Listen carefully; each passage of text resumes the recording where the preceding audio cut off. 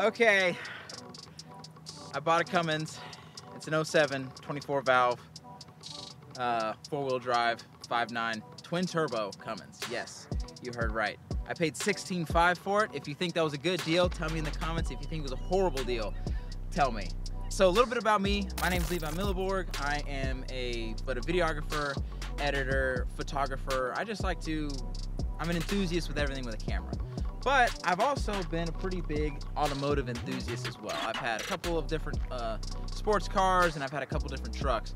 But this is by far my favorite purchase so far. So I just wanted to kind of show y'all what I got and talk through, you know, all of the mods I got. Also, every mod you see here, I will include a link below to Amazon. If you are interested in buying any of it, please do, because I get a little bit of a kickback, especially since I only have 26 subscribers. so yeah, so let's talk about what we got here. Uh, first off, like I said, it's a 07 and a half 5.9 Cummins, so it's the last year of the 24 valve. It is four wheel drive, which is great. Um, and start here cosmetically, we have iron bumpers front and rear. We have 20 by 12 moto metals on some 33s. There's some Renegade RT uh, mud terrains. Um, we have a leveling kit on it, so it's got a two and a half inch uh, spacer on the front. I don't like that. I am going to change it. Um, underneath, we've done a couple of different suspension components, inner tie rod, traction bar, and um, a steering box stabilizer. I also did uh, XR, XHF, XRF, something or other ball joints on it. They were the Amazon brand highly reviewed, um, but I did those on it. They seem to work well. Ones I've done under there so far. Uh, continuing back with the truck, we have a fast uh, 165 titanium fuel pump, which is great. I also have the cat filters on it. I did that upgrade, or whether you think it's an upgrade or not, I don't know. Continuing to the back a little bit, of course we still have the, the Moto metals, and uh, I actually have some uh, airlift bags on the rear for load support. Um, I have the compressor to like air them up and stuff, but I haven't actually wired up a switch to like flip it on.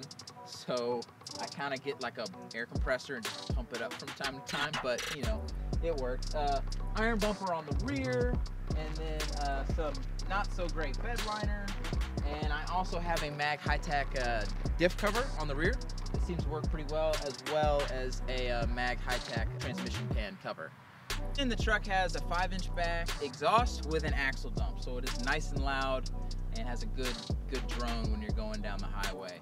So yeah, it's a it's been a pretty sweet truck. It starts right up. I've done a couple of pretty cold starts. I think the coldest I started it up was uh, maybe like 20 something degrees and it started right up, not much of a problem. Glow plugs work great, everything works great. It's got 243,000 miles on it. So four-wheel drive Cummins, twin turbo, uh, 243,000 miles for 16.5. Eh, pretty good, I, I thought. I, I, was pretty happy with the deal. Um, coming to the inside, we have uh, everything, you know, we need to tow right here. We also have EFI Live, which I need to get reinstalled. It, it's not on right now, but I'm gonna reinstall EFI Live. I have all the gauges you would ever need. Um, we got trans, we got EGTs, uh, we got boost, we got, you know, we got it all. So I'm gonna be switching a few of them out, but they're pretty good. So yeah, so I'm pretty happy with them that um, not all of the gauges work, but um, the you know the boost gauge, trans gauge, and the EGT gauge are the most important ones, and those work. So, so yeah. Coming to the uh, inside of the truck, I'll kind of show y'all what I got going on here. Um, please, if you have any, um, I'm still kind of new at all this, so if you have any like suggestions as to what I have on under here, please let me know. But I have an aftermarket uh, intercooler. I'm not sure what brand.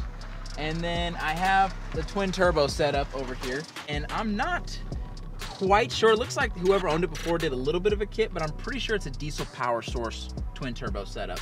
Uh, so I'm pretty sure they did a stock turbo down to maybe a 4S475 or something like that. Don't quote me on that if I'm wrong. Tell me, but uh, as far as underneath uh, the hood, what I've done is I've done a rail plug, and then I also did the Quadzilla uh, boost fooler. And um, I'll probably put out some. Uh, I'd like to put out a review on those, hopefully, but uh, they work pretty well. They work, they definitely work pretty well. And you know, it's a little dirty under here. There's Some stuff I want to fix. We still have the good old intake elbow, which is in good shape. And um, I'm not completely sure what all they did underneath before I bought it. Uh, the engine has been painted, so I'm pretty sure that it was rebuilt. As far as like injectors and everything else, I'm not sure how big they are. If I had to guess, I think they're 50 horsepower injectors, but I could be wrong. Um, but yeah, you know, this is uh, this is my truck. There's a lot of stuff I want to do to it, but um, you know, there's I've been enjoying it for what it is thus far. Uh, the big thing I'm gonna be doing next on it is for sure getting it tuned. Uh, I got a buddy here who's gonna help me out with EFI Live, and um, I'm hoping to get it tuned real nice because it's untuned right now, which makes it kind of a dog, but it's still drivable and fun and everything.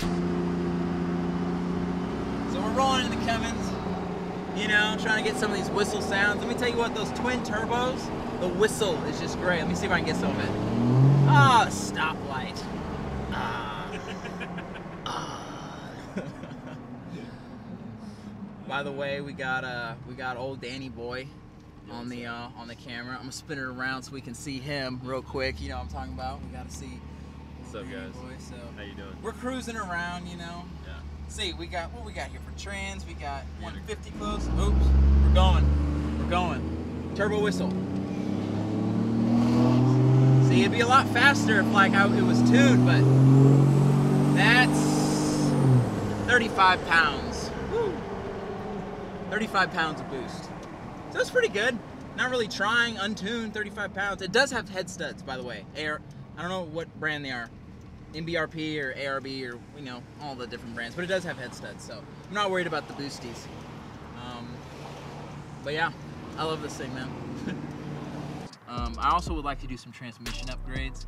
I'm not sure what it has yet. It, it, it runs a little weird just because it's not tuned. But uh, if the transmission hasn't been touched, I would like to do a valve body and, you know, the GM uh, solenoid and some springs and you know whatever. So anyway, uh, this is my truck. I hope you enjoyed. I would like it if you smash the like button, and I would love it if you subscribe. So I'm trying to get the channel started. Um, as far as what we, what I'll be posting, I'll be posting truck stuff, kind of more vlog style like this, and then I'll also be using it as kind of a portfolio for my professional work as well. So if you kind of want to see a mix between like filmmaker stuff and like car stuff, then uh, I'm definitely the one for you. So thanks for stopping by. This is Levi Milliborg, and uh, we are out.